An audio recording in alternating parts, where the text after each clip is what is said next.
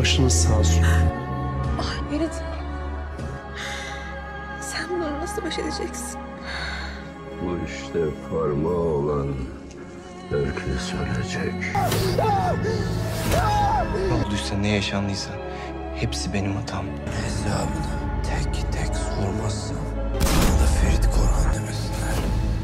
Yalı Çapkını dizisi yeni bölümde, maalesef Tarık'ın planıyla birlikte Fuat ve Asuman yaralanırken, Fuat ölerek diziye veda edecek, Asuman yaşayacak, Korhan ailesi bu yıkıcı ölüm bile sarsılacaktır. Ferit yaşananlardan kendisini sorumlu tutacak ve abisinin acısını uzun bir süre atlatamayacak, bu süreçte Seyran'ın desteği üzerinde olsa da, aileler onları birbirinden uzak tutmaya çalışacaklar, Tarık yaptıklarının bedelini ödemese de, Ferit olanlardan şüphelenecek ve Tarık'ın peşine düşecektir. Kanalımıza abone olmayı unutmayın, hoşçakalın.